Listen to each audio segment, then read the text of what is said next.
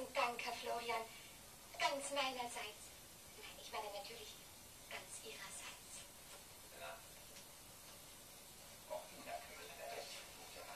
Gut, dass ich Sie noch erwische, Herr Florian. Sie müssen unbedingt einen anderen Sitznachbarn nehmen. gehen. Der Regenschirm ist so langweilig. Und vielleicht ein Herbert. Ich will sehen, was ich mache.